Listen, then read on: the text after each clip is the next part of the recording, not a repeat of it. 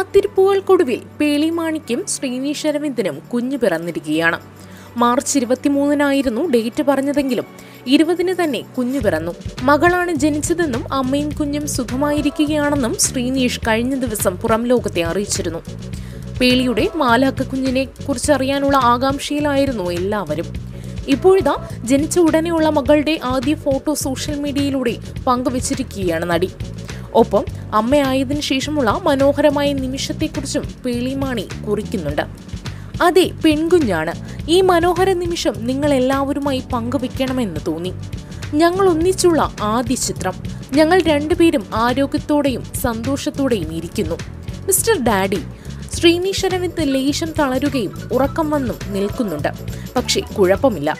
കുഞ്ഞിന്റെ ഫോട്ടോ ഇടരുതെന്ന് എല്ലാവരും പറഞ്ഞിരുന്നു. പക്ഷേ നിങ്ങൾ ഓരോരുത്തരും എന്റെ കുടുംബമായതിനാൽ ഫോട്ടോ ഇടുന്നത് കുഴപ്പമായി തോന്നുന്നില്ലെന്നും പേളി പറയുന്നുണ്ട്.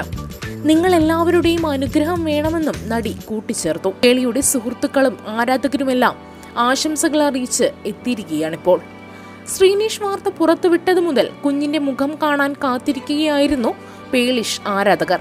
ഒടുവിൽ പ്രസവശേഷം പേളിയുടെ മുഖത്തോട്ട് കുഞ്ഞിനെ കിടത്തി മാതൃസ്നേഹം തുളുമ്പുന്ന ഫോട്ടോയാണ് നടി പുറത്തുവിട്ടിരിക്കുന്നത്.